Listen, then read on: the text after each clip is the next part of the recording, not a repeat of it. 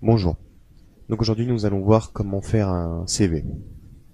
C'est relativement simple. Je vous ai euh, je vous ai mis un exemple euh, avec Microsoft Word. Donc je vais présenter petit à petit euh, le CV, enfin l'exemple d'un CV type. Il vous suffit déjà pour commencer de mettre votre prénom ainsi que votre nom ici en haut à gauche. Donc euh, vous pouvez respecter le schéma que, que j'ai fait.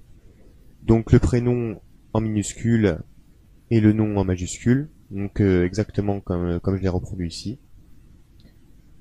Vous pouvez mettre une photo en haut à droite ici. Ensuite, en dessous votre, votre prénom et votre nom, vous mettez votre adresse. Ensuite, vous mettez votre code postal avec votre ville, votre téléphone et votre adresse email. Donc la photo en revanche ne doit pas être trop grande. Ensuite, on va passer donc au corps du CV. Donc expérience professionnelle, vous pouvez le mettre en gras minuscule et le souligner. Et donc là, vous allez mettre, par exemple, si vous avez travaillé un mois, donc euh, en août 2011, vous mettez ce que vous avez fait, où est-ce que vous avez travaillé, si vous avez travaillé dans une banque, si vous avez travaillé dans un, dans un supermarché ou euh, dans une, une, agence immobilière.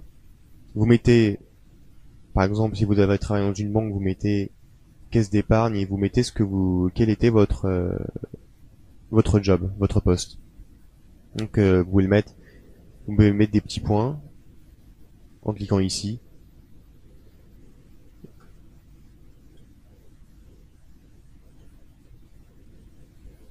Et vous mettez euh, qu'est-ce que vous avez effectué.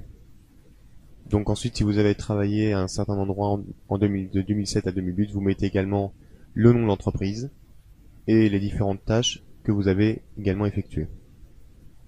Ensuite, la formation, donc encore une fois, donc c'est un, c'est une partie importante, donc vous pouvez la souligner et la mettre en gras.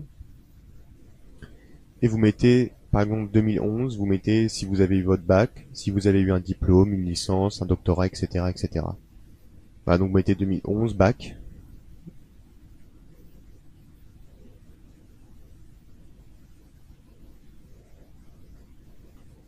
Euh, 2000, 2015, donc là, vous pouvez le mettre en gras.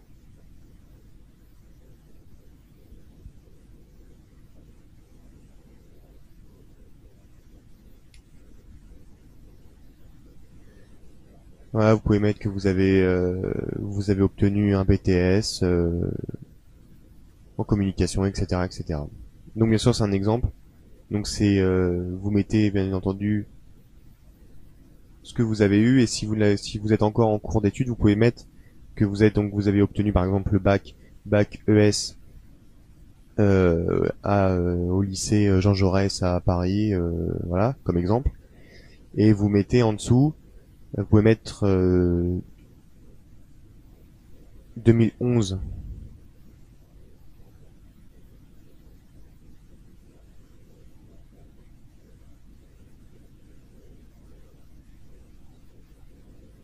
études marketing, etc., euh, etc.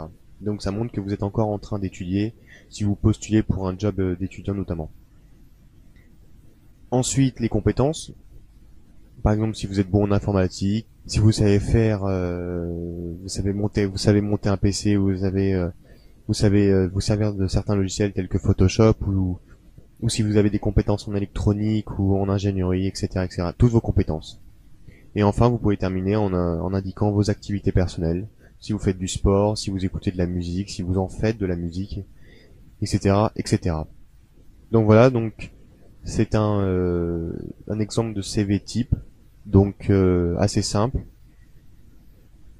Toutes les informations euh, les plus importantes y sont. Ça sert à rien d'en rajouter des tonnes et des tonnes, de faire des encadrés spéciaux, de, de, décorer, de le charger, ça sert à rien. Ce que l'employeur veut voir, c'est tout simplement ce, ce que vous avez fait et, et de quoi vous êtes capable.